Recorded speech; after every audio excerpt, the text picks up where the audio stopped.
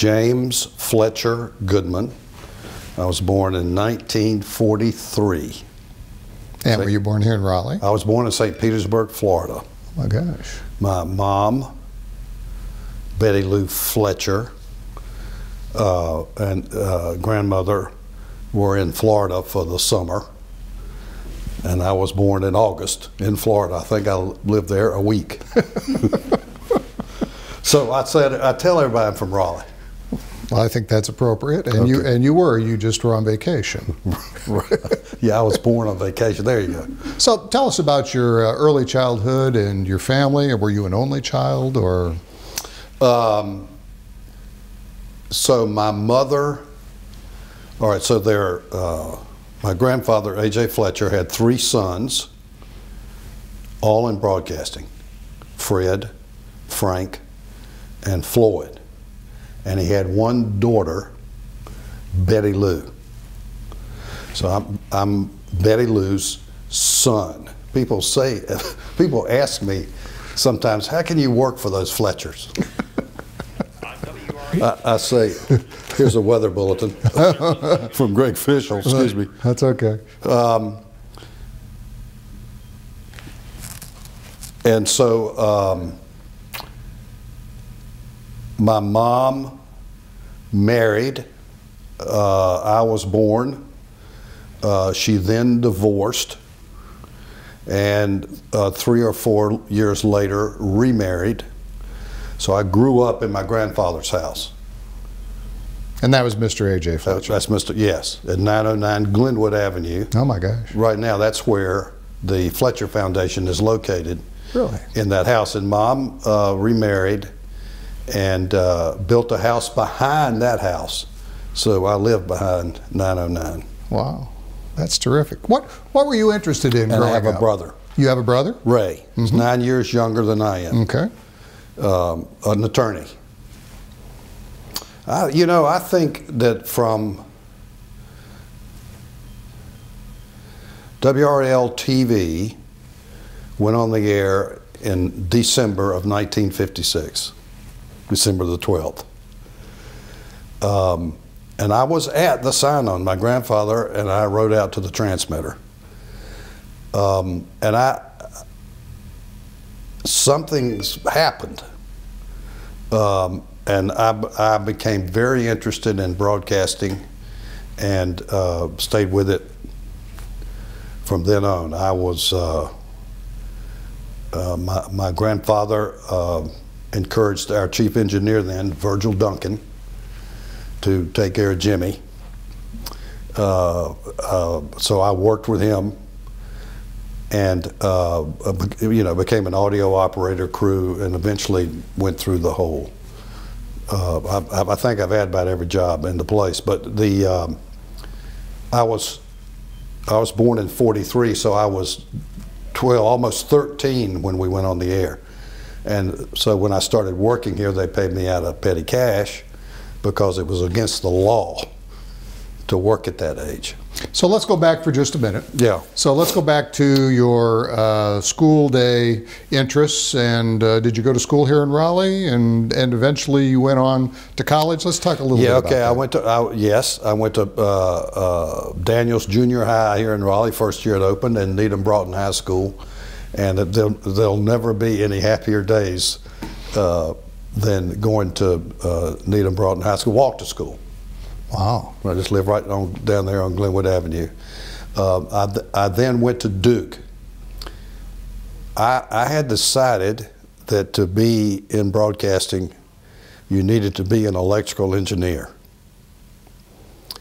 And uh, I stuck with that for about three years and realized that I was a lot more interested in um, what technology can do.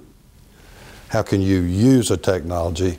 I was much more interested in that than the equation um, for, for how it really works. I decided to change majors um, and uh, join the Naval Reserve. Um, th- that was during Vietnam, and um, I knew you, if you, you finish school, you get drafted you don't finish school, you get drafted. So I joined the reserve, Navy Reserve, and I was in the reserves for three years, and uh, did not uh, go back and finish school. Came back after the Navy to the company and went to work. Something else happened while you were in the Navy or shortly thereafter. Where were you stationed at? I was in Memphis, Tennessee, uh, actually Millington, Tennessee, a suburb of Memphis, uh, a, a, naval air station, largest inland naval air station in the world. Lots of uh, uh training for naval aviation. I met Barbara Goodmon. I met Barbara Lyons, who later became Barbara Goodmon. We met there. And you brought her back to Raleigh. Yeah, well, I, I got out of the Navy, came back. I think I was here a year or two before we got married, but we did. Well, and while I was in Memphis, um, I operated Link flight simulators. Uh, and at night, I was the uh, night studio engineer for WHBQ uh, in Memphis, Channel 13. It was a so, RKO station, and so I stayed with the broadcasting. Yeah. Tell us what Link simulators are. Link Simulator. Link's the name of a company, mm-hmm. Link, and they build. Uh, uh, they'll, they'll, do a mock-up of a cockpit of an airplane. Uh, all of the instruments, the the full. You you think you're sitting in the airplane, and then with a computer you simulate actual flight conditions. And so pilots train and train and train, and you, uh, you as you're operating the trainer, you have a program of giving them a problem. The engine fails, or this happens, or that happens, uh, and uh, you know those in those uh, high performance aircraft, you don't have a lot of time to ponder what you ought to do. It's, it's a so they learn reactions. They react to certain things. And you were in charge of that. Uh, I, I, operated the simulators. Okay. Mm-hmm. All right. So uh, very interesting that that's what you did. So you returned back and came back to Raleigh about 1968. Mm-hmm. Okay. And what was your uh, when you came back? You went to work at WRAL. What did you do? Well, the uh, I worked in operations. Um, the, I think uh, I viewed it as my job was to get the programming on the air. Right, I wasn't in programming, uh, but it, the job was to get it on the air. And who did you report to at that time? I reported to Jesse Helms. So, who later became senator? Later, yeah, Jesse Helms was the executive vice president. My grandfather was chair, was uh, president uh, my uncle Fred was executive vice president, and uh, Jesse Helms was executive vice. Fred later became president, but those were the three. My grandfather, my uncle, and Jesse Helms. Now, Senator Helms had um, responsibility for uh, the other building, we call it, which was programming and production and news. Fred Fletcher was very much the community uh, involved in the community and handle sales uh, and promotion. So let's go back for just a minute. Yeah. Let's go back to uh, Jim Goodmon at age 13. Mm-hmm. WRAL goes on the air December 1956 there was quite an array of dignitaries and things for when that all happened. I don't know if it was the day you went on the air, but I've heard you speak before about uh, General Sarnoff coming and being here. Who were some of the people that came? Yeah, I think it was Robert Sarnoff. I don't think it was General Sarnoff. Okay. And Dorothy Collins from Hit Parade. Okay, now remember, I was 12, 13, and I wasn't at that. Uh, uh, I think that's the groundbreaking for this building, mm-hmm. I believe, that you're talking about. Mm-hmm. But uh, we became an NBC affiliate, and part of it was uh, my grandfather working with Robert Sarnoff. There's, there's, want, let me give you a few interesting side notes here, which I think uh, is really interesting. Okay, Fred, Frank, and Floyd. Frank Fletcher went to law school. He then went to Washington and went to work for the Federal Radio Commission. It wasn't the FCC, it was the Federal Radio Commission. And he called his father and he called his brother Floyd and said, uh, "There's this new thing called radio, and I think you all should should get in this business." And they did. So here comes WRAL AM, and my um, uncle Floyd um, ended up with WTIK in Durham. And so that was 1937 when they got their first radio station. Yes, their AM. And then two years later, what became WPTF, is that correct? Or was the first station uh, the, the AM, which became PJL, P, WPJL? The, okay, the uh, WRAL AM signed on on that date. It was not at the frequency that it went to 1240. Okay. Remember 640, 1240 CONELRAD? Mm-hmm. Remember the jingles?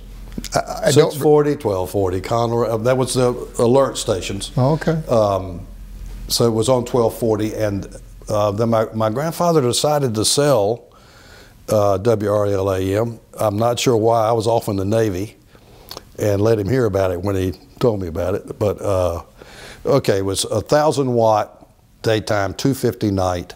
You couldn't get it outside of downtown Raleigh. It wasn't much of a uh, wasn't much of a signal. But now Fred, okay, I'm I want to get my uncles in here. Okay, Frank Fletcher in Washington, Federal Radio Commission. There are 30 some stations in North Carolina that Frank put on the air. Right, he was right at the beginning of this, and, and so he, with uh, their owners all over the state, uh, stations all over the state that he uh, was the legal representation to put him on the air. So Floyd is in the business in Durham. Pop's in the uh, business here, and Fred did the morning show on WRAL AM. He's very much a an entertainer, uh, and everybody listened to. Uh, it was called Tempus Fugit. Tempus Fugit. It's a book. Tempus Fugit. It is a book. So he uh, he did the morning show, and I remember uh, he would call the hospital and talk to the nurse. Was anybody born last night? and he, you know, he'd call around town, and it's good old time local radio. Right and I see that uh, that's I still think that. I mean, I grew up in that. I, I haven't moved on to the this is all about um, return on equity or something. I still believe in local broadcasting because that's how I learned. So, and he had, um, and there's a website for this. He did a fairy tale every morning.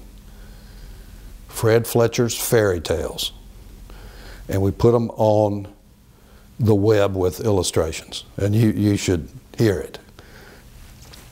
So along comes FM. I guess you have the year for that, don't you? You know, I think I do. I okay. think that uh, maybe that happened in, uh, oh, I'm not sure exactly. I, um, that was a few years later, though. It was, a, and you know, an interesting thing about FM was it was a 250,000 watt license. They don't do those anymore.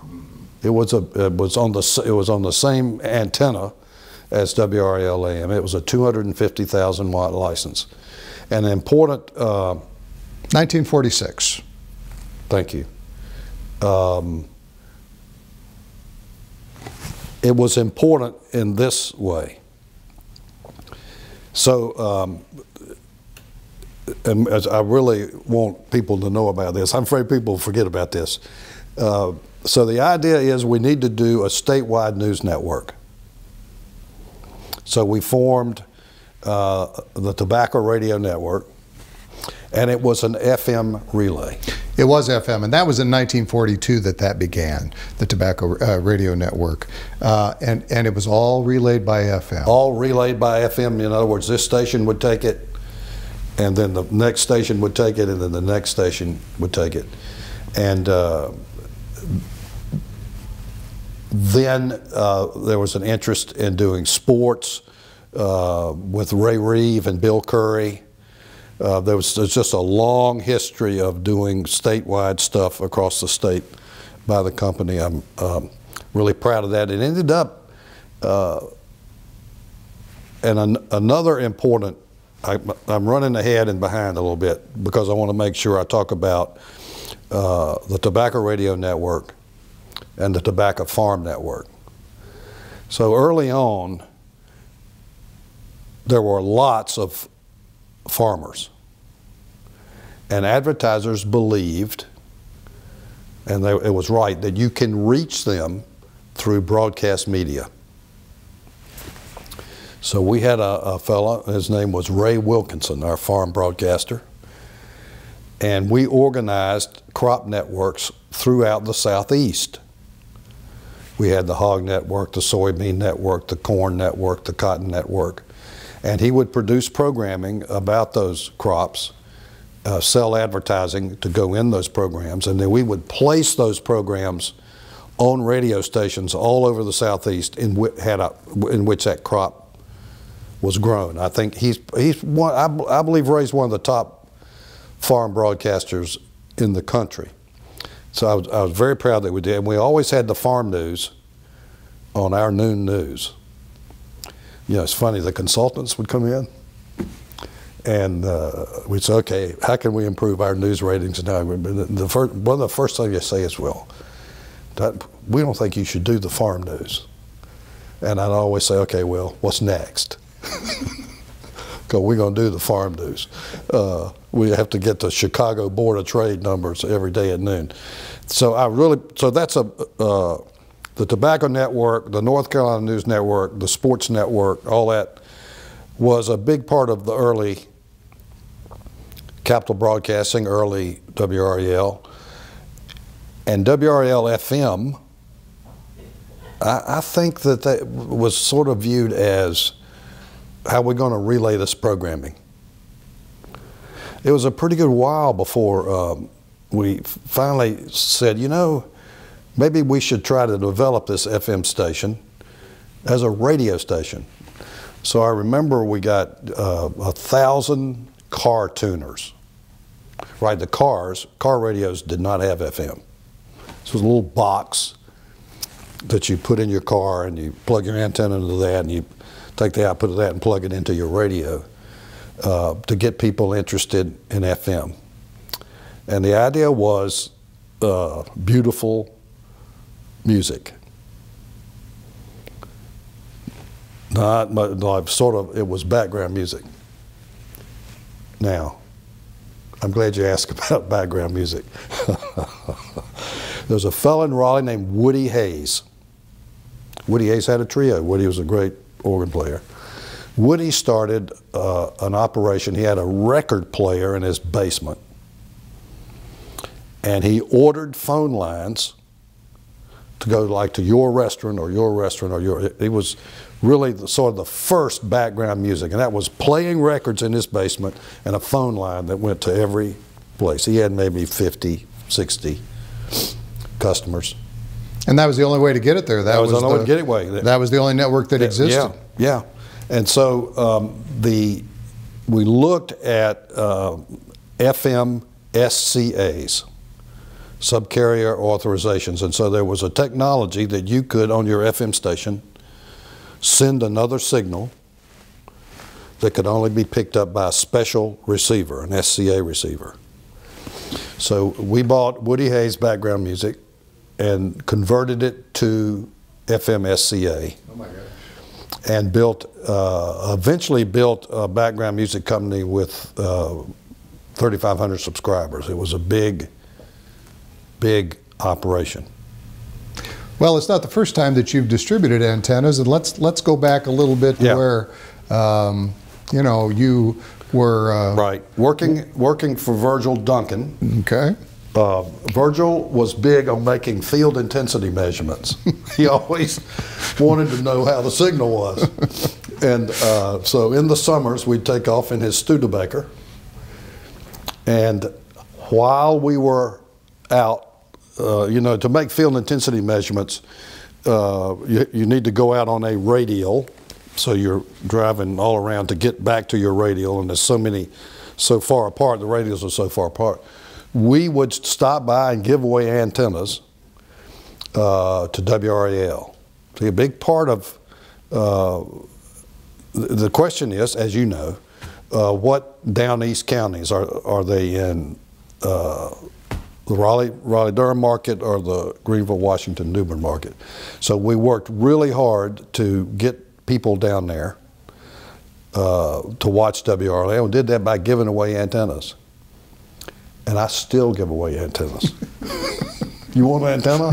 I've got a, good, I've got a real good one. That's a new one. That's got, I, I might need one. As I told you, I, I'm sad because where I live, I can't get yeah, WRAL. no, I mean that, that's uh, that's what that's the deal is. um, you have an antenna and you can get us. Uh, you can get us for free. So yes, and I did a lot of engineering work with um, Virgil Duncan. That was the field measurements and giving away the antennas. Uh, there, okay, so how? Okay, AM, FM.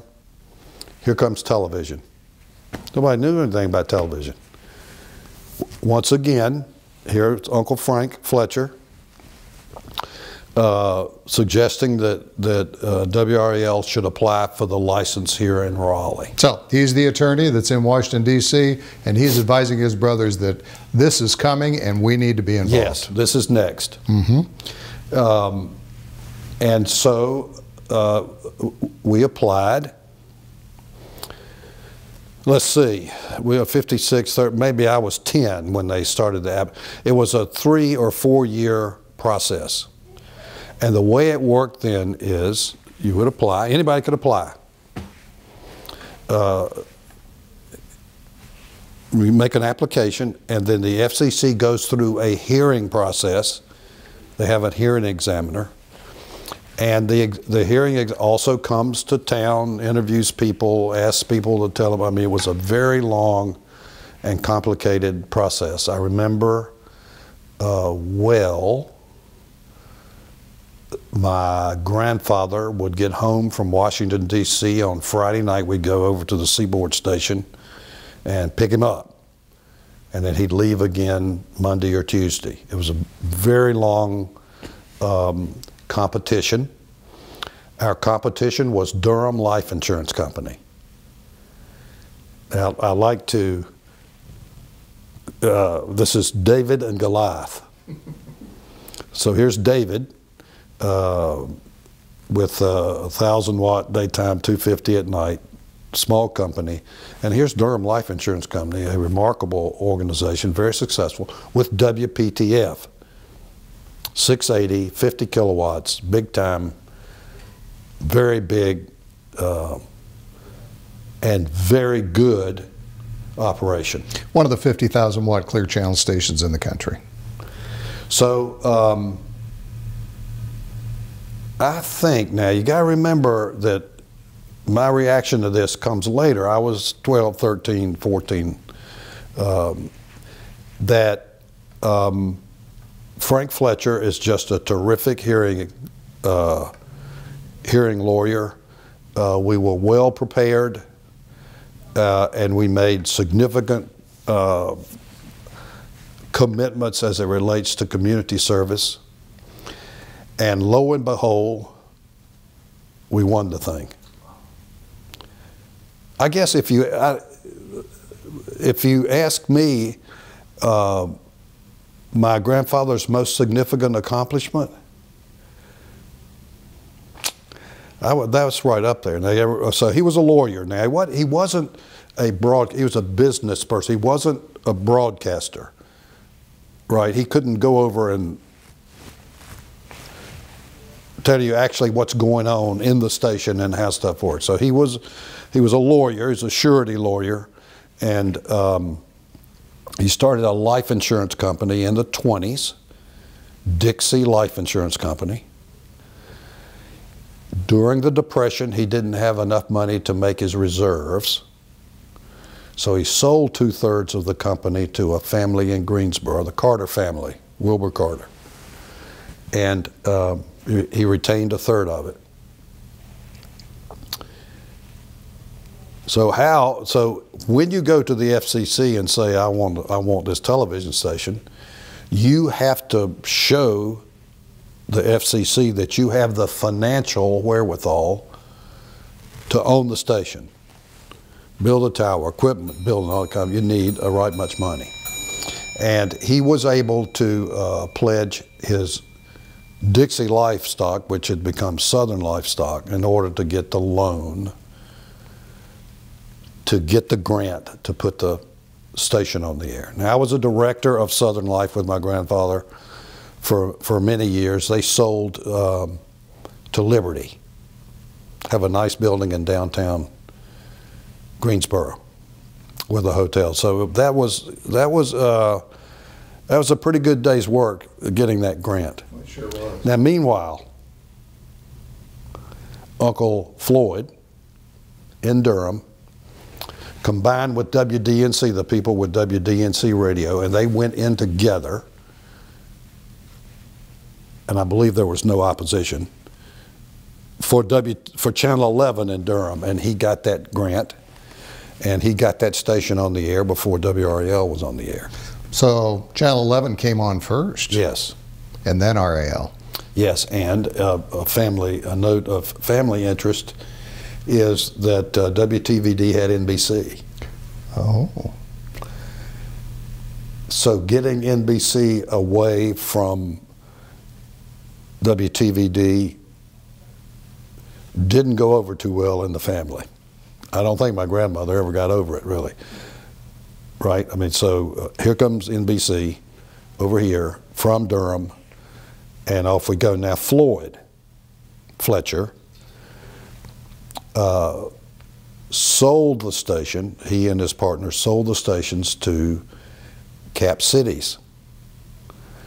Uh, there was a second station that Cap Cities owned. They owned Buffalo. Then they bought Durham. He did that. He retired early. He did that in his early 50s. So he sold that to Cap Cities and became part of Cap Cities Long Range, which became ABC, which became. Uh, so that's quite a story over there. sure is. So why did NBC decide to change affiliations? Because didn't WRAL go on the air as the NBC affiliate, or did that come later? No, we went on the air as the NBC affiliate, and, and, and I don't know. I told you I was 13. Um, How long were you NBC in that first run?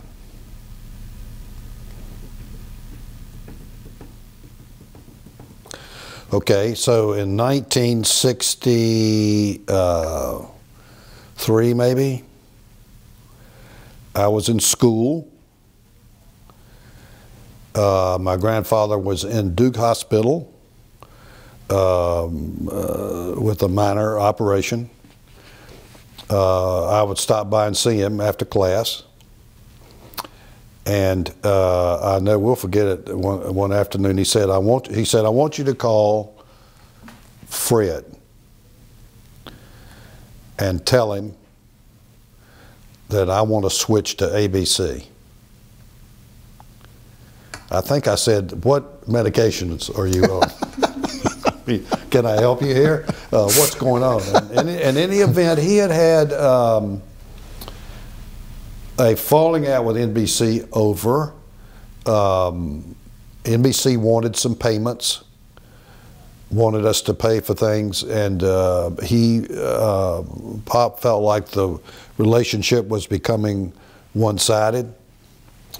Now that was uh, he had developed a friendship with Leonard Goldenson, who was chairman of ABC, well known, uh, and um, he um, made a deal with Leonard Goldenson to switch.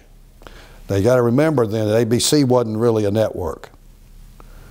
They had American Bandstand, Marcus Welby, um, FBI. Well, I'm not.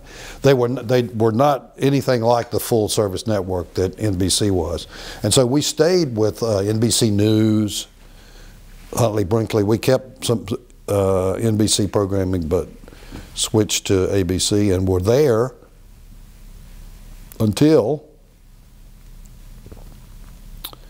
Cap Cities. Now remember, they owned Durham bought the ABC network. So our competition here in this market, Channel 11, owned ABC, and it was our network. That presented some uh, difficulties, and over time uh, we negotiated. Uh, we uh, so we looked at NBC and we looked at CBS and decided to go with CBS. So there you go, NBC, ABC, CBS, and we were with CBS for 30 years. Wow. So that's the. So I want you to know about Fred, Frank, and Floyd. Um, Frank getting all being representing so many broadcasters in North Carolina and getting them on the air, and Fred uh, being president here was. Um,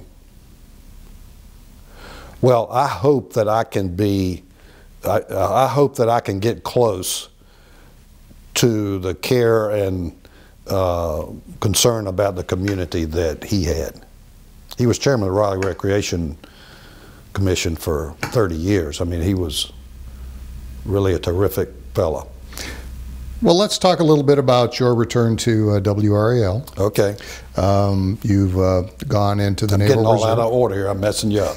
you are messing me up. all right. all. this is fascinating. It's great. But uh, you come back to work and uh, you report to Jesse Helms, and uh, you're the operations manager, and you start moving up the ladder. Good question. Uh, there were other Fletcher children. How did you, because of your relationship and working all the way along, Yeah. did they see you as a shining star coming up through the family? Well, uh, there two, I think there uh, there are two or three responses to that. Um,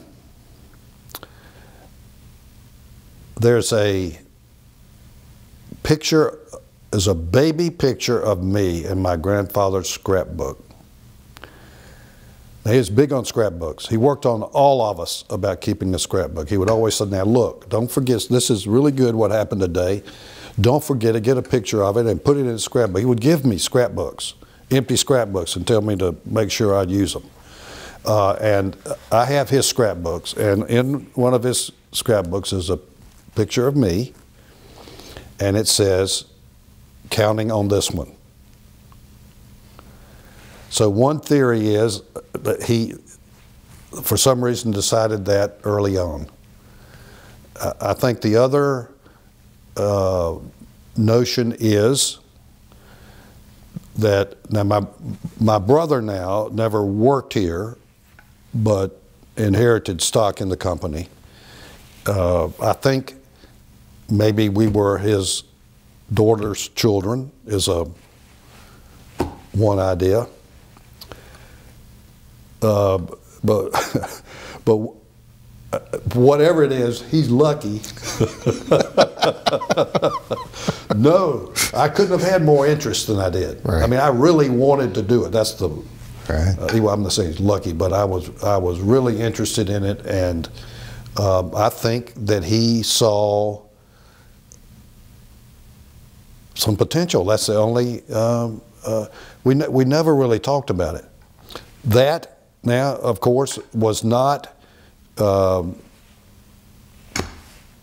everybody in the family didn't like that, and it was a difficult situation. And my view of that is that my grandfather could have handled all that differently, but he didn't. A little later on, uh, I bought my brother out. He was attorney, retired, uh, retired attorney, and uh, so here we go.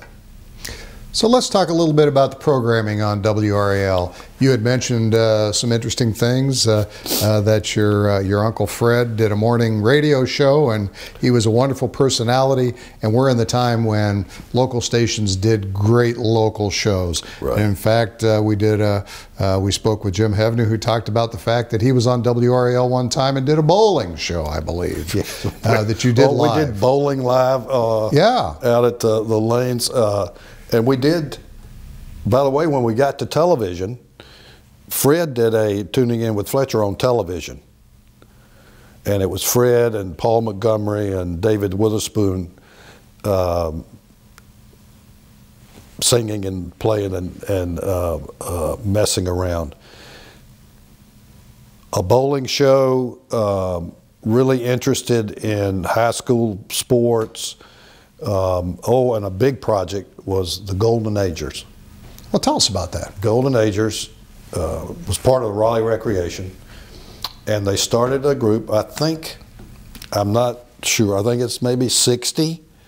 You can be part of the Golden Agers, and at the recreation centers, they had programming activities for the Golden Agers.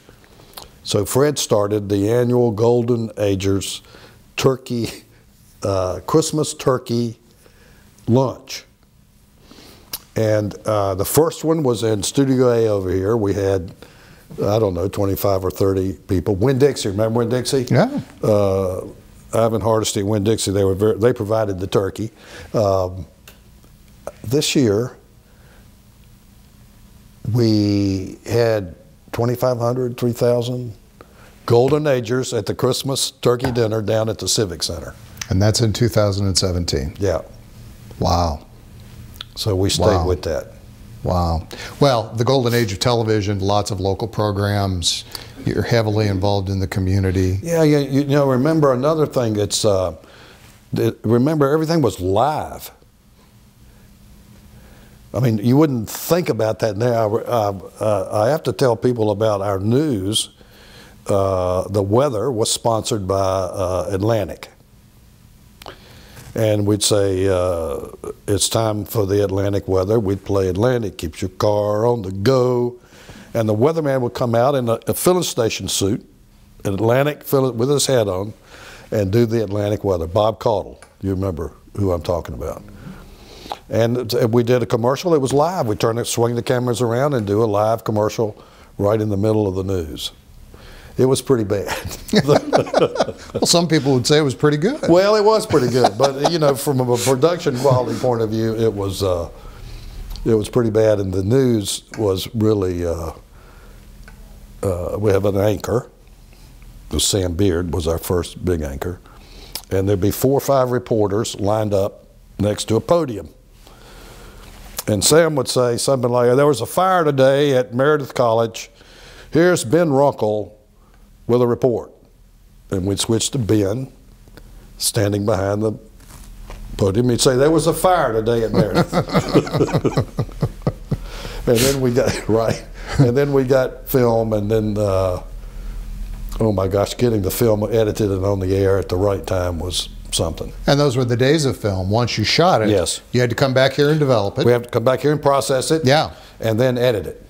And that took some time. That took some time, and if we, we you know, we'd have eight to ten um, different film clips um, to get in the news, often played in the wrong order. So, I mean- Jim, tell us about that. So, Yeah. how long did it take from the time a reporter shot film, got it back to the station to be processed? What was the turnaround time if you really had a breaking news story? I mean, what was what was the uh, hour, hour and a half. not bad, yeah, not bad. yeah. I mean, we could we could force the processors. Mm-hmm. Wouldn't come out like we'd want it to, but we could force it. Yeah, I mean, we bring it in, and, you know, loop it over all these things, process it. Then you have to take it out and edit it. And editing wasn't all that easy. Now that was actually cutting the film and pasting it, Splicing it together. splicing it together. Wow. But that was remarkable technology at the time. Yes. That something would happen in this area that we, you had film. Yes. It was edited together. The guy was in the studio telling the story. You showed the clip, and people, through the magic of television, saw it right then and there. That was that Yes. was pretty astounding. Yes. Hard to do, but uh, it was all in a day's work. So, how long was it until videotape? Yeah, I don't know. I don't You know, know, the exact. I don't know that I, I, I would uh, uh, argue a little bit, so a little, not hard, a little bit, that we had the first videotape recorder in North Carolina. It was a VR 1000, never will forget it, Ampex VR 1000, two inch tape, two inch tape, big, big reels. And we couldn't believe it. I mean, we could record video and look back at it, and you could not distinguish between live and recorded. You know, that's when things really, that was a, a big turning point. So were these two-inch tape uh, recorders? Could you take them out in the field? Well, uh, not initially. We did, but we put it in a truck. Right. Yeah, we had a truck. So like you a- do live events, probably. Yeah, we did like it looked like a bakery truck. Mm-hmm. Had the uh, uh, recorder in it, and we would take that with us on remotes. I As got smaller and smaller. I mean, Right, but yeah. sporting events probably initially Yes. Mm-hmm. a big event or something that you could record and, and show at a later time or even in a newscast. That's Right. that's how you started off. You were kind of the the food truck. We were the food truck. of of, of the Yeah, tape the, we were the we were doing, and I don't know exactly the date, but uh, a our this our number one highest rated program by far was Championship Wrestling. really Yep, live wrestling. it was not live. We recorded it. Oh, We tape recorded it. because a lot of stations at that time had a wrestling match that they put in their studios behind the cameras. They'd turn them around, and you had a better you had a better plan. You Yes. had you had tape, and you'd We tape it tape and bring it We back. do them on Wednesday nights. Oh, my God! We had bleach, uh, we had uh, bleachers. We'd have maybe a couple of hundred people here. You did it here. We did it here in the studio. There was a, a wonderful man, Joe Murnick, who was the uh, Eastern uh, wrestling promoter. It was his business. Worked with Joe for years and years, and he would bring the guys in, um, and, and we would record it on Wednesday night. Then we'd send it to maybe 30 stations. You distributed it We as well. We distributed it for Joe. Yeah. And when did it run on the on WRAL? What Well, time? That's interesting. Um, I got more and more uh, involved with actually programming the station, uh, and I had uh, I had a goal of getting Wide World of Sports on live. Remember the opening to Wide World of Sports? Absolutely. With Howard Cosell? Oh. Okay, we didn't take Wide World of Sports on Saturday at 5 because we ran championship wrestling, which was the highest rated program in the market, oh my gosh. followed by uh, Porter Wagoner and the Will, uh, Porter Wagoner and Arthur Smith, which is the second and third highest rated programs on the, that five to seven block on Saturday afternoon. I mean, people So wrestling was an hour. wrestling five to six, and then uh, Arthur Smith and Porter Wagoner. My gosh. That was some block of programming. Wow, and I bet people didn't ever miss it. They, they never missed it. Yeah. So how am I going to run Wide World of Sports from 5 to 6.30? Well, well uh, that was not going to happen. Wow. Uh, so I, I convinced the powers that be that wrestling would be very successful Saturday nights at 11:30. Um, and I, I, I think people were very concerned about that move, but it worked out fine. Wrestling did fine for years at 11:30 on Saturday night, and we got Wide World of Sports Zone, and eventually uh, Arthur Smith and Porter Wagoner kind of Faded out. Faded out. We're the but we're the big uh, wrestling. Uh, I really enjoyed working with the Murnicks now. And I don't, this uh, this would always upset Joe when I would tell people this, is they would go out there and wrestle and everything, and then we'd all go over to the Velvet Cloak for dinner together. now that was a right. Yeah. Well, that sounds like a, a lot of great fun. But then things started to change. You mentioned the first two inch Ampex tape machine. Yes. That really started to change the landscape. Yes. And that was just the beginning. Yes. One thing it allowed us to do is um, pre record things like station breaks. So remember, here we're going to a station break. We'd have a live booth announcer. We'd have to play two or three different films, and we'd have two or three slides, all of which has to happen in 90 seconds. And so um, we really improved the operation by pre-recording a lot of stuff. Now, you just said something I want you to explain. Yeah. For people that aren't familiar with it. Stations back then used slides, and they had a slide machine, Yes. which was a monster. Yes. It was a big, big piece of equipment with a rotating wheel on it. Yes. And you would insert the fly, uh, the uh, slides in there, and the camera, I guess, fit in there somewhere Right. to be able to see them. And that's how you got different still images. That's how we got different still images on the air. Almost all the graphics were on slides. Right, we wouldn't, and uh, and that same camera, that same system would also you'd also play the film on that same system. But the uh, the point I want to make is we really improved uh, our production quality when we got the videotape and we could do stuff ahead of time. That was my, that's what I. So after it went to two inch, was three quarter inch the next format that became Yeah, I prevalent? think. Well, uh, you know, we two inch uh, was the quality format. Um, we had the, the, some stations went to three quarter. Remember, we had the uh, Betamax VHS competition. Uh, they then developed a great line of one inch video recorders that were were very good. And uh, so we went through all of those. When you wouldn't think of having a recorder in there, everything is now on hard drive. And uh, through all the technical changes, uh, because of your interest from the engineering side and technology, if there was something new, you wanted to Yeah, have I thought you know there are a couple of things about that. Um, I think you need to have as a basic principle, if you can improve your product, you should. Now you can't be crazy. I mean, but the idea is if you can go from black and white to color, you probably ought to go to color. You know, if you can go from analog to digital, you need to get on with the digital. Just as just as a matter of customer service. Uh, this, but the, the second part to me is I wanted, I've always wanted WRAL to be the known um, for leadership and technology. I call it first to market.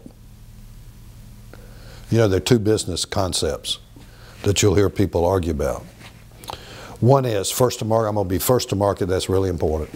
The second is, oh no, oh no, you want to be second or third. Let other people spend the money, let them figure out whether it works or not. If it works, you do it. If it doesn't, let them. That, that second one, I don't get that one. Mm-hmm. And I think you go after it. And I've heard you say several times that, uh, you know, there are many pieces of equipment in the archive where you have serial number one. Yes, well, that was, uh, I would like to tell you about digital. Um, so, the uh, industry comes up with a new standard, new broadcast standard, new technology standard that would allow us to do high definition. I saw it several years before the U.S. had a standard when Japan, the NHK network, brought high definition to Congress and showed it to them, and I went up and looked at it. Theirs was an analog system, by the way, not digital. So I had my eyes on it. Uh, I mean, it was the, you can't the difference. Would you watch sports now if it wasn't in HD? No, no. I mean, it was a huge difference. So as soon as that became uh, uh, authorized, okay, well, first, while they were doing the standard and were testing it, we put an experimental station on the air. I wanted to figure out what it is, get everybody here used to it. So we put on an experimental station. Um, and we were then ready uh, when the transition happened um, to go right on as high definition. And we did, we were the first station on, and we also, we also did the first high definition newscast. And in fact, uh, you were granted the first license for that in 1996. Okay. And uh, and that was the jumping off point where you were first in the country to have Yes. an HD newscast. And I remember that was that was huge. That was a big deal. And then so the next few years are convincing people that they need to get another TV and that it's worth it. And uh, I think it changed everything. I, I think high definition changed it. Now, by the way, we're getting ready to do that again. So we, when we went to high definition, the standard was ATSC, ATSC. I guess you call it 1.0 first. And um, okay, we found that the, so the you know the thing that I was very excited about was is that I wanted these I want this to be a TV set. I wanted to have a tuner in it so you punch it and you can watch channel 5 live you watch now on the we believed that we would be able to do that with ATSC but we couldn't the signal uh, was not robust enough. There wasn't enough error correction. So we came up with ATSC 2.0, and we now broadcast a separate signal for mobile, which works better. Uh, but the phone people won't put the chip.